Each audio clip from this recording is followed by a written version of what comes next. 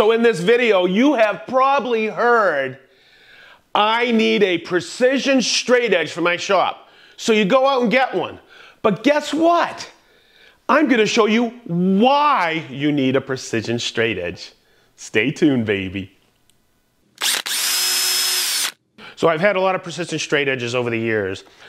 And recently I just acquired this one from UJK. You'll see the link in the comment section or the description. And I needed it because of this new slab desk I'm making.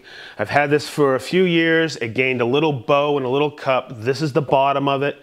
I'll be releasing a video soon on it. But what I'm doing is I'm starting to flatten and I, am using a couple hand tools. I'm not making it a flattening jig. I'm not taking to my buddy CNC. I'm gonna show Big D how to flatten a slab or take out little nuances in the slab. So as this is the bottom, my um, standing desk frame will sit perfectly flush on here.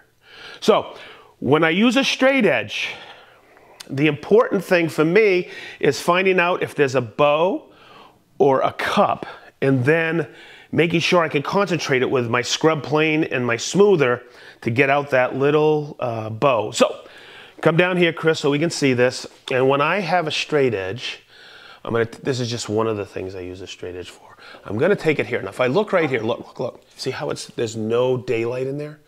Yeah, but I come over here, Chris, see this? Okay, see how there's daylight in there? And that's probably about a, I'd say a little over 3 sixteenths, but I'm gonna bring it here until I start to see daylight here, and I bring it right here. So I know there's a, there's a, a bow in this board. So what I'll do is I have daylight, daylight, and I bring it around and I start doing this, look. So guess where my bow is, and I, I'll concentrate right here and right here, and I'll take that down the board. And that's what I use a straight edge the majority of the time. So one of the applications I use a precision straight edge quite often is to check my MFT3 tops. It sounds funny, but this is on an MDF, okay? Humidity sometimes may cause it to dip, especially if you're constantly cutting into your top. You'll see I've cut in here. Um, this one should be good. I've had it for quite a few years here at the Sedge Tool Shop. But what I do is I, I set my straight edge on a variety of ways like this. But let's check it this way, diagonal.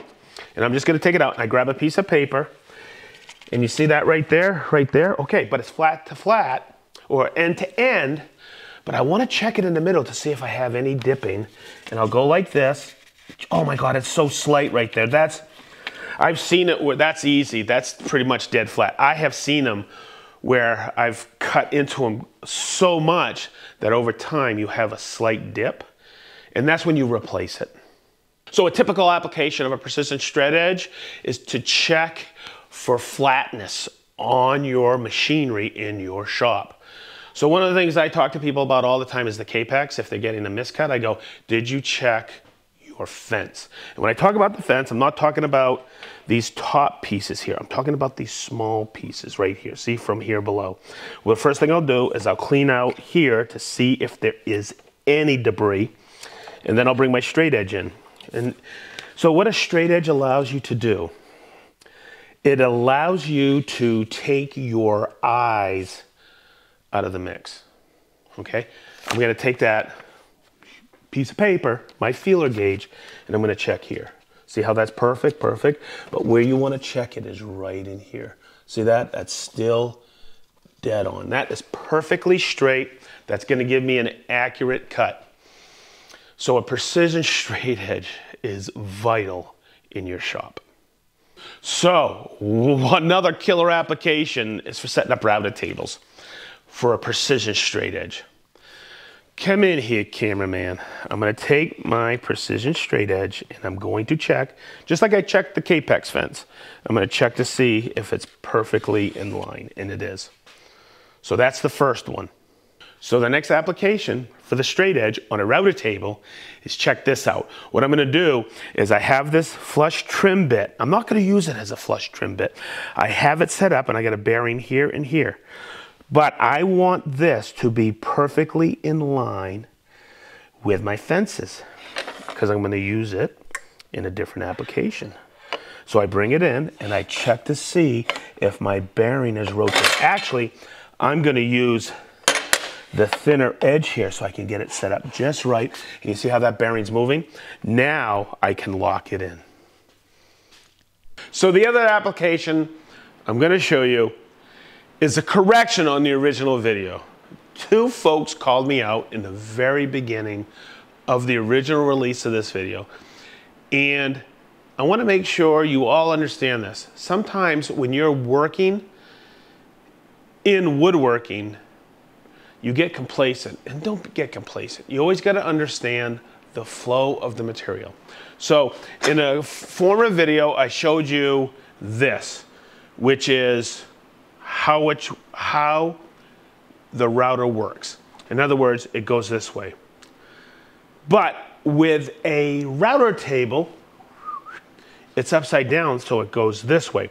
That's why I make an arrow on my router table. So I'm going to set this up with the straight edge to use it as a jointer. So I want you to see this. See how it flows perfectly? And as you see this, come in here, cameraman, it's even here and here. And I showed you how to set that up earlier. But what I want to show you is I want to set this up as a joiner. So I have to, this is my in feed, this is my out feed like a joiner because that's my arrow, that's my flow with a router table. I wanna show you how it works. So what I wanna do is I wanna offset this to compensate for this outfeed. So I have to set this back ever so slightly. So on all router tables, you can, well, not all of them, but with this one and other tables, you can offset your infeed table. So I'm gonna loosen this button here, and I'm going to take this and I'm going to set it back ever so slightly. So let's look at this. See this right here? That is my depth of cut right there. I'm gonna do a little bit more so you can see this and I'm gonna lock it in. So when I'm running a board through this, and come in here, cameraman. As I'm running this, you're gonna see where this stops. But as I cut it, what will happen is my pressure will be against here, just like a jointer and you have your infeed and outfeed. So what'll happen is as I cut it, it will offset. That's my depth of cut. This is a full face cut. Now I will be able to put, bring it like this as I'm cutting. And what will happen is I will reduce at the end of this area what is known as snipe. So as you can see, a precision straight edge in your shop is vital. Make sure you get one that's straight. I always verify. This one's beautiful. It's got a metric scale on it. I always rub my finger along the straight edges because you never know, it may have gotten dinged and that will throw you off. Um, you can see all the different applications for precision straight edge. This is one that I got from UJK. You can see the link at the TSO products in our description. Um, I think it is a killer value. It's around $45, $46, worth every daggone penny. So check it out hey, link it in the description. Hey, don't forget to subscribe. And thank you for tuning in to another video on the Sedge Tool channel. And I'm to say it all together. Be positive, stay sharp, and hey, make sure you're wicked sharp.